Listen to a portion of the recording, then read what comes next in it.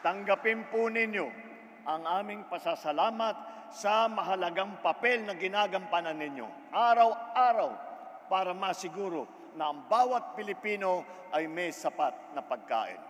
Ang inyong mga amortisasyon, interest at iba pang surcharge, lahat po burado na. Higit pa nating pagtutulungan ang pagunlad ng sektor ng agrikultura dahil malaki ang paniniwala kung mas marami pa tayong kaya at dapat gawin.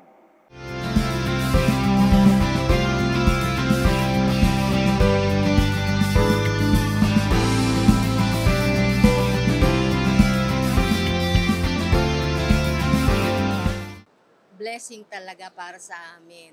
Kasi yung sa halip na ibabayad na, kami mismo ang magbabayad, dumating itong pribilehyo to sa amin na naging ano, naging blessing talaga. Kaya malaking tulong na yung yung ibang pwede naming ipambayad dito, magagamit na rin namin sa pansarili naming pangangailangan ng aming mga ng aming pamilya. Taos puso po kami nagpapasalamat sa amin sa ating mahal na Pangulong Ferdinand Marcos Jr.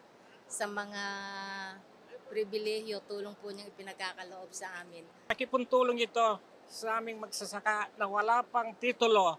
Sana, Presidente Marcos, sana isa pang Marcos ang darating para lahat ng mga magsasaka mabibigyan ng lupa. Tsaka talagang number one. Kasi sabi ko nga, kung ikaw lang magbabayad ka sa isang, sa isang utang na ganun, halimbawa sa akin, parang 400,000 nata, di ba? Parang ganun na tayong babayaran ko. Isipin mo, ikabubuhay ng pamilya ko yun, yung 400,000, hindi ko mababayaran yun. Ito nga, dumating yung, yung donation loan ni, ng ating Pangulo. Malaking tulong po ito.